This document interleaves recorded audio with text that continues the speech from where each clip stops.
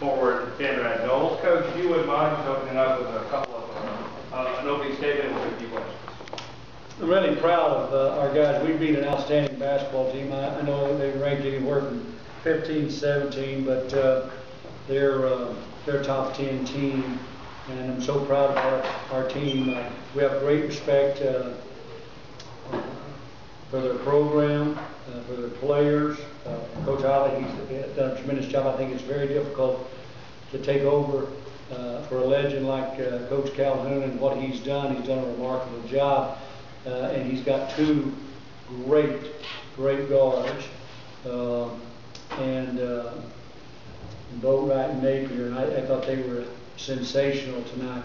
But having said that, we've got good players, and uh, our guys played hard. They played as a team.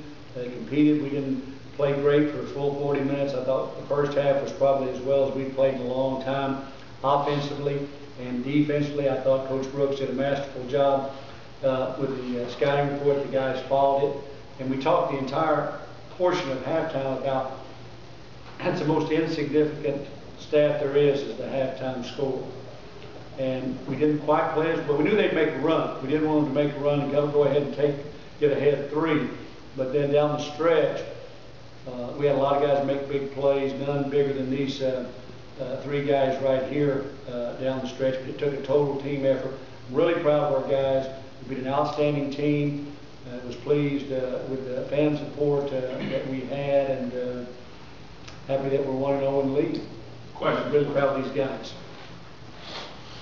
Stig, talk about the three-point shot to tie the game. Had a hand in your face. Talk about that. Uh, I knew I knew TaShawn was gonna drive, pass it up, kick it out. Nah, I knew I was gonna shoot it, but I didn't know I was gonna have to double clutch because he hit my arm a little bit. So it was a, it was a big moment. It, was- it felt good, but I knew we had to play deep, get back on defense. Did you think it was going in when you, when you took it? I always think it was going in. I was just going to say that, you know, he has great confidence, he has the ability to hit big shots, he's hit them before. You know, we ran some special situations in practice yesterday. Uh, Coach Hamilton drew up a play for him, he had a game winner uh, at the end of practice uh, off a double screen. And the one thing I want to say about uh, him is he, he does believe every, every shot's going in. And he's never met many shots that he didn't like.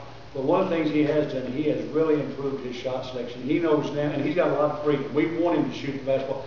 And he has really matured in terms of, in two areas. One, in terms of knowing what's a good shot and what's a bad shot. And the second thing is going harder on the drive.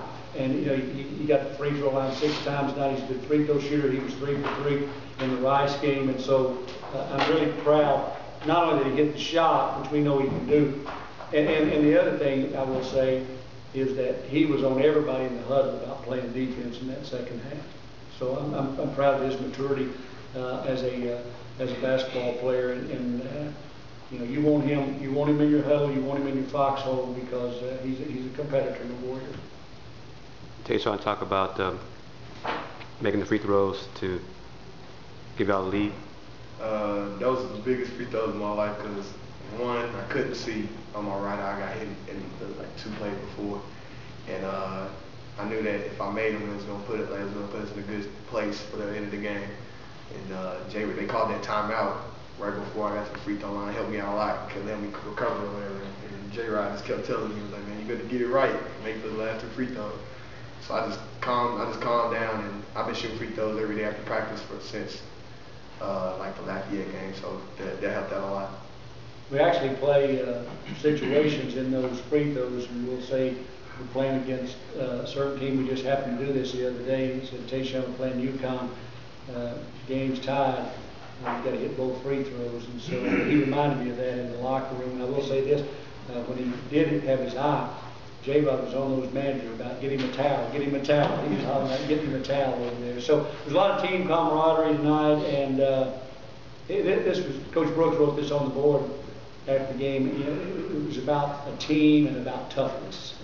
Uh, and those guys did a really good job. And we had a, we had a freshman over here that uh, really grew up a lot tonight, and uh, I, I was proud for him. He's been hard on himself. He is, he is really, been too hard on himself. Uh, he got nine rebounds in the Rice game, didn't score, so he's really been tough on himself. Uh, probably not as tough on himself as we've been on him in practice. Uh, Coach Brooks and I have been on him pretty hard. Boy, he really responded tonight, made some big plays for us. And I thought played with great confidence. He wanted the ball. Uh, TaShawn, J-Rod, uh, Jerron, Brandon, Tion were all looking for him down there. He didn't feel like they could hold him. He could get to the middle. Uh, I wish he'd got to the free throw line, but uh, he just one rebound away from having a double-double. But uh, Danrad really grew up tonight. Coach was real intense out there tonight. Did you do anything different to prepare for this, or did you pull over? No, you know, we, we, we really didn't. Uh, uh, the guys, I mean, everyone knows that when conference season starts, the intensity level rises. Uh, I mean, if you can't get excited about playing for the University of Houston, which is a great university, tradition-rich program, you're playing a program like Connecticut, who we have great respect for, the national titles. You're on national TV. It's the first conference game. Uh, this is what you come to college for. So our guys were ready. We just, what we've got to do is we've got to sustain that uh, a little bit better in the second half. I was concerned about coming out and being a little bit flat, which we have done in the second half. They're, they're going to make a run. We know that. But uh, we, uh, we let up a little bit defensively, and they had more energy. We talked about that energy at, at, uh, at halftime. They cannot have more energy than we do. They just cannot. Well, they went through a period where they did, and then, you know, Napier got hot. I mean, I mean, I want- let me just say this. Let me rephrase it. He got open. He got loose. He doesn't have to get hot. He's good. He, he's got a pure stroke. He can really shoot the ball, but he got loose too much. We let him loose too much. Were you concerned with having 10 days off? No, no, not at all, not at all. Now, we, we talked about, we talked about this last summer when we were, when the, before the conference schedule came out, we thought the league could start anywhere from the 28th to the 31st. And so we had an option to play a game on the 27th. I opted not to because I think it's important for guys to have an opportunity to be off at Christmas time and, and, and be with their families and have a few days off. Had we had, had we played on the 27th, a non-conference game, we'd have had to bring them back on Christmas night. And I did that for 10 straight years, and I promised my wife if I ever got another job, I'd never bring them back on Christmas night. And so I didn't, we played all 13 non-conference games before the break, and uh, I knew that first conference game, I just wanted the, the five days to prepare when we came back. We came back the night of the 26th. I just wanted those days to prepare. So really having that time off, uh, once I found out when the conference schedule was going to be, I didn't want to put the guys in position that we had to prepare for a game on the 27th.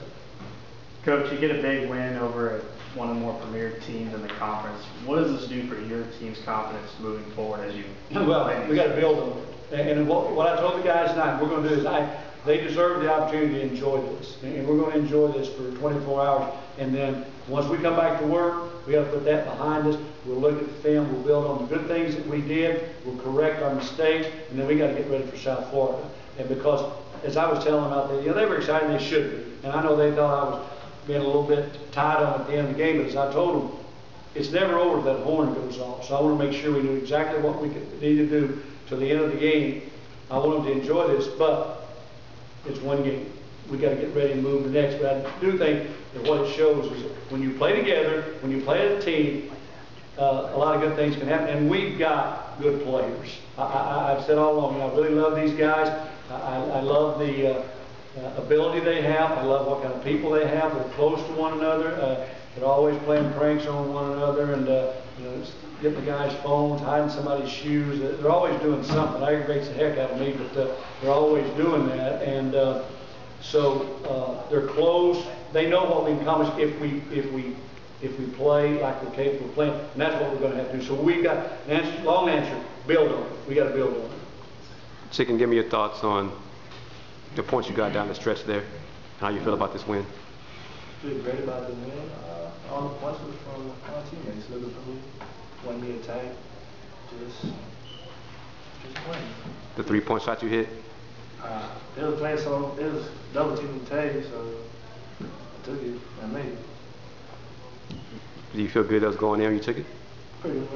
But that three, Yes. Do it all the time. Oh, I thought that three, uh, I mean, he hit that shot, and I thought it looked good when it left his hand. I, in fact, I was glad he was taking, because I was afraid he was gonna try to force it. What they were doing, they were backing off of him, playing halfway between, because they knew we were going to try to jam it into, uh, to Danrad or to take, and the dude backed off of him. Just stepped up there and knocked it down. I was like, shot myself. Anything else for coach the players? Let me just take this opportunity to uh, wish all of you a very safe uh, and happy New Year and to all the great fans out there. Happy New Year. Happy New Year. Thank you, guys.